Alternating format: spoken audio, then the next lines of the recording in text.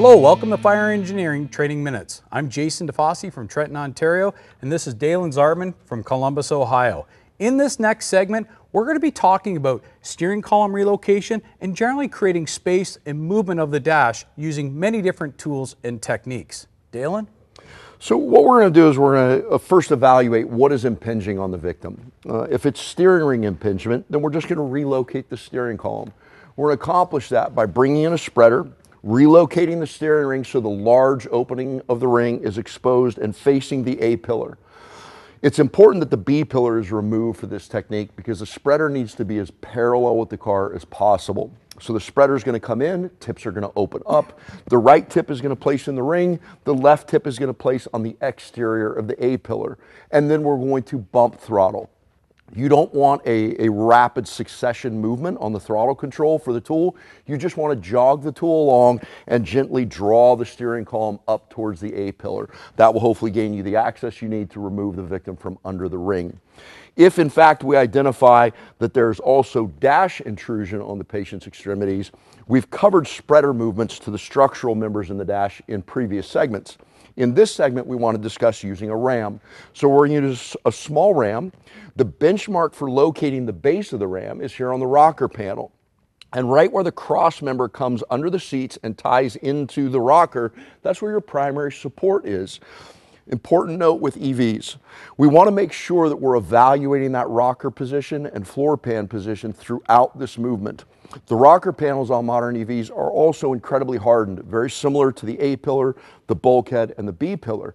But if you start to deflect the rocker, stop on the movement, that's going to apply upper pressure or tension to the battery pack, which can induce mechanical or physical abuse to the batteries and cause a thermal event or a short circuit. So you've noticed we've added additional cribbing points underneath our post or the area where we're going to position the base of the ram. We're then going to beam the ram in and your target is the base of the column where the steering column ties into the dash assembly. Make sure that that traveling tip or the upper tip of the ram locates itself on the left corner of the column. If you're too lateral on the column, it's going to slip on the plastics and travel up the column without moving the dash. And if you're too inset, it's going to slip to the opposite side and travel. So you have to find that right position to be able to penetrate the plastic, grip the column, and pressurize the dash and then drive it up through the windshield.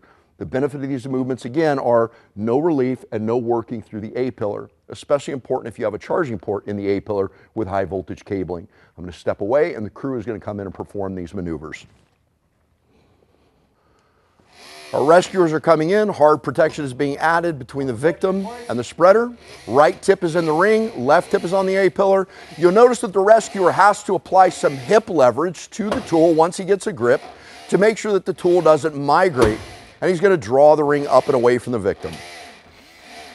And that's all we're looking for. Remember, inches can be what we need to gain access and free up the victim. Go ahead and remove the spreader, and we'll convert now to a RAM application, relocating the entire column and the dash assembly. Prior to RAM location, it's always important with all your tools that the tips have metal contact. So we're going to remove plastics and we're going to make sure that our base of our ram is positioned on the weld seam traveling around the opening of the door assembly. That gives us our greatest point of resistance. Once the column is contacted, hands are going to be removed and put into safe positions. And we're going to keep eyeballs on that lower rocker. We want to make sure that we have zero deflection in that rocker assembly.